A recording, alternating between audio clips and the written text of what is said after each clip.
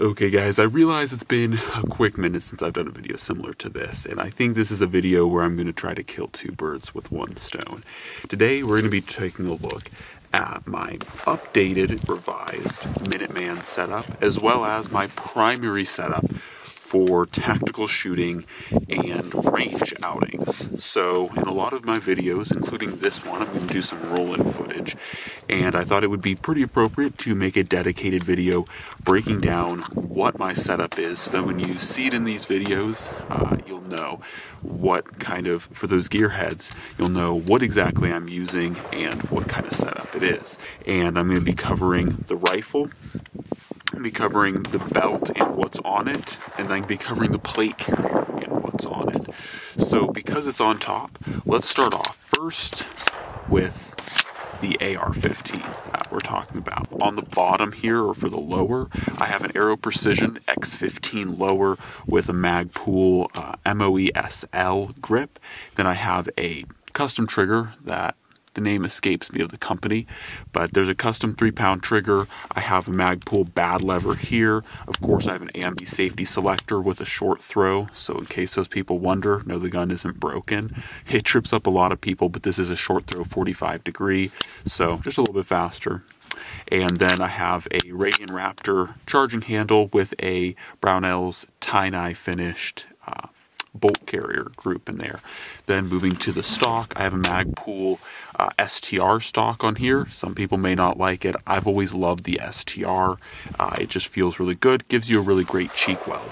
Moving up to the upper, I should say, this is a Radical Firearms RF15 upper, and on top we got a Vortex Crossfire, of course, just standard Magpul M-Bus flip-up sights, and of course M-Bus up top two. Then I have an AFG by Magpul, and then on the other side I have a what is this? A Tech Mecarmy, uh, Mecarmy SPX 10 flashlight mounted on an offset mount here for, you know, home defense and so that I have some lighting. So that is the basic rifle setup uh, for the gun. As you guys can see, that's what the other side looks like. Um, yeah, so this is the primary rifle I'm running.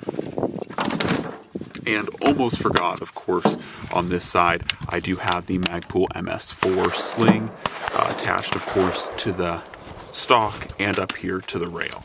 So that is the rifle. Okay, so before we get to the plate carrier, we'll take a quick look at the belt and what is on it.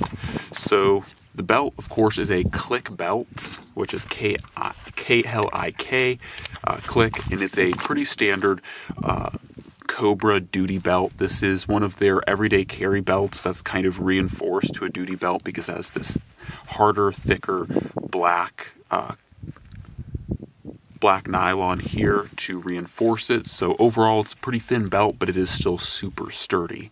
So that's the belt that supports it. Now, for my belt stuff, I like to keep it reasonably free and clear. So all I have is a double mag pouch for the pistol. I have the pistol, which in this case is a CZ-P10C. And uh, this is my primary tactical uh, training firearm because it's a great shooting handgun, and of course, it just has a standard Kydex sheath. And then lastly, and I occasionally use it, though I do always wear it, is a Magpul roly poly um, dump pouch. Okay, so now let's talk about the plate carrier. But before we get to the plate carrier, I will say these are my current uh, ear, ear protection. They're pretty standard, pretty basic, just kind of over the ear muffs. They're passive. They aren't particularly new or fashionable, but they work. And most importantly, they sit on my head at an angle, as you guys can hopefully see here. So they don't sit straight over the top. They kind of sit behind, and I really like that design. So next to that, I have Oakley radar locks. That's what I glasses. They work very well. So for the plate carrier, I use an AR500 Armor Veritas, and I have modded that with a Condor uh, this is a double stacker, which actually is a six mag mag carrier, though I don't usually use the these front three. So these are mag carriers too. I don't usually use these three, but I usually keep them around more for storage or if I'm running a pistol. Sometimes you guys will see me throw like a pistol like I'll just put my pistol in here like this. It's not the most proper or the most safe thing, but oftentimes if I don't have a holster for the handgun or I just want to throw in here real quick, it works just fine for that. And, you know, so it kind of becomes a catch-all container. Then, of course, I have three PMags in here uh, in the back of it, obviously for doing mag changes and mag swaps. I mean, the primary reason I run a plate carrier is for the ease, uh, which I can carry rifle mags and, you know, swap them out. So going more to the back, so behind these magazines, we get into more admin stuff. But before that, I have a uh, Tops Ice Dagger right here, just for self-defense in addition uh, to the handgun and the rifle. But then moving above that, this is the actual admin pouch, so to speak, right around this American flag. And here I just have a Pilot G2 pen in black. I have a Microtech Ultratech right here. So in case I need to cut anything or open any packages, there's that. And then over here, I have the uh, Leatherman Charge Plus, just being a booger to get out here. But there's a Leatherman Charge Plus here because multi-tools are super useful at the range. And then another thing that's recently new to this is I carry a Sharpie in here. And the primary reason I carry a Sharpie in here is just because I like to mark my targets and Sharpies work really well for just marking up your targets when you hit them. You know, you know where you're hitting and there's no confusion behind it. In addition, I do have a pistol mag pouch over here that can carry three mags. I'm not really sold on it. I don't particularly like it.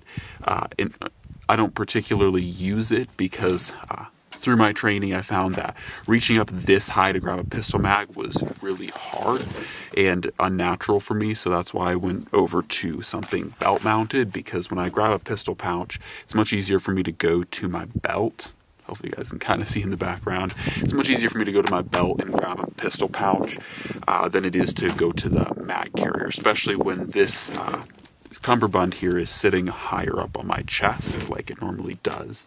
So that's the basics to that. Behind it, I'm not running anything fancy, just have a little 5th Special Forces patch on the back for the fun of it, uh, but nothing absolutely crazy uh, on the armor. Of course, this is running level 3 uh, AR 500 plates on the inside with trauma pads for those wondering.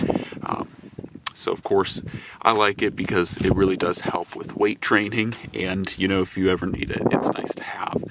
So, anyways, guys, hopefully you've enjoyed that. That is the basics to my updated Minuteman kit slash what I train with. Um, hopefully you found it interesting and more more than anything, I just create this video so that you guys can understand, those who want to understand can understand, you know, whenever you see me running around on the range, you know, what guns I'm using so you're not asking any questions or it provides a pretty good answer. So hopefully you guys enjoyed this video and as always, God bless and